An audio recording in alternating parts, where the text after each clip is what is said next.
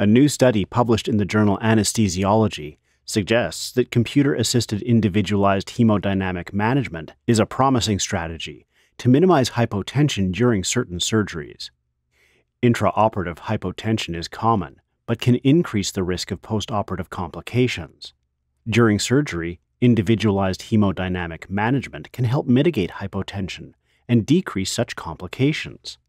In this strategy, clinicians use both intravenous fluids and vasopressors to maintain mean arterial pressure and blood volume near a patient's personalized baseline. Despite its reported success, this approach requires constant monitoring and adjustment, which can be particularly challenging during complex and prolonged surgeries. Automated systems that can deliver either vasopressors or fluids have been recently developed, but a single closed loop system that can deliver both with minimal clinician intervention isn't yet available. To pave the way for such technology, researchers at a hospital in Bicêtre, France, designed a computer assisted system with two main parts one for closed loop vasopressor administration, and another for decision supported fluid administration. The researchers then tested their system against traditional fluid and vasopressor management with respect to intraoperative hemodynamics and postoperative complications. The researchers randomized 38 patients scheduled for elective intermediate to high risk abdominal or orthopedic surgery to either a computer assisted goal directed therapy group or a manually adjusted goal directed therapy group and compared the outcomes. The same hemodynamic management protocol was used in both groups, only the presence of automation differed.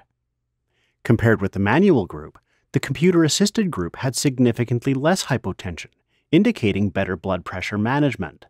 This was likely due to the much higher number of vasopressor infusion rate modifications in this group. However, there was no difference in the postoperative complication rate between groups, likely because of the small sample size.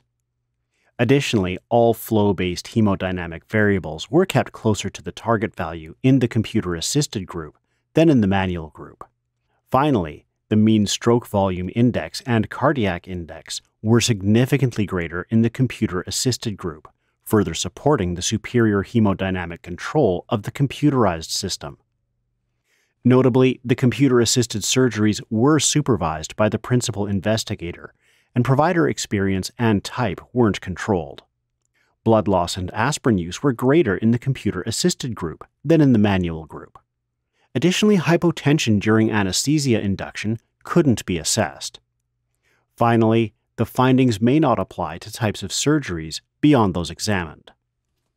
Despite these limitations, this study demonstrates that computer assisted individualized hemodynamic management is superior to goal directed manual adjustments in minimizing intraoperative hypotension. This work is yet another stepping stone in the development of automated systems to optimize patient management during surgery.